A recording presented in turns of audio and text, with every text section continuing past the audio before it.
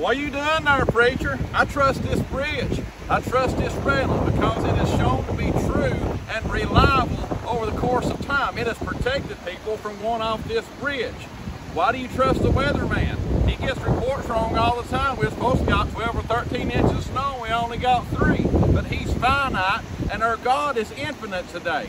So I would encourage you to trust in the Lord with all your heart and lean not to your own understanding because we lean on our understanding, we'll fall in the creek somewhere.